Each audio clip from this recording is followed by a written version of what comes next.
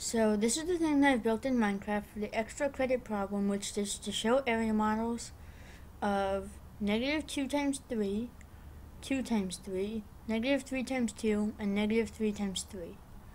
So I'm going to drop down blocks to make each area model in this corner, that corner, and that corner.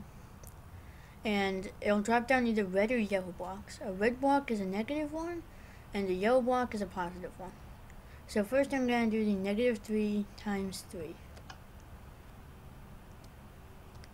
Okay, so it's sort of messy, but you can still see it's 1, 2, 3, 1, 2, 3, 1, 2, 3. It's 3 rows of 3, which is negative 3 times 3, because they're all red blocks. And you can see I have 9 in my inventory now. So now I'm going to do the one that's 3 times 2. So that'll be over there. One, two, one, two, one, two. So you can see that it's three rows of two yellow blocks in each row. And I should have six. Okay, so I have six yellow blocks. So last, I'm going to do the one that is negative 3 times 2 and negative 2 times 3. Since it's the same thing, just laid out differently.